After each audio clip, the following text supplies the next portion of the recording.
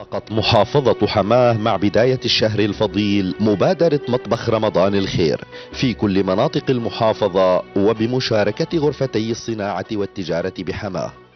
بمناسبة الحملة اللي أطلقتها محافظة حما رمضان الخير نحن حبينا نشارك فيها. نحن مطبخ أمهات الشهداء بسلحاب حبينا نوزع وجبات ضمن سلحاب لأهالي الأسر والشهداء والجرحى والعائلات المستورة. طبعا نحن يوميا بنقدم 250 وجبة مستمرين طيلة شهر رمضان الكريم. متطوعين من عشر سنين مطبخ أمهات الشهداء آه، للجيش العربي السوري والآن مع أهلنا. هالظروف الصعبة القاهرة اللي اجت على سوريا وفرض علينا الإرهاب والحصار الاقتصادي. حبينا نقدم هاللقمة الطيبة طبختنا اليوم رز ومرقة فاصولي وإن شاء الله نحن الشعب السوري رح نبعث رسالة لكل العالم إنه نحن ما بنحني راسنا لحدا.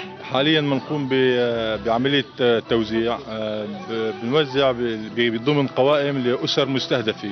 رمضان كريم إن شاء الله كل عام وأنتم بألف خير. إن شاء الله سوريا وقائد سوريا وجيشها ألف ألف خير.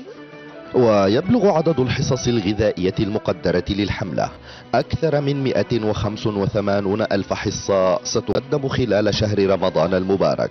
وكانت المحافظة قد افتتحت مطبخين في كل من مدينتي السلمية وسلحاب يقدم وجباته يوميا.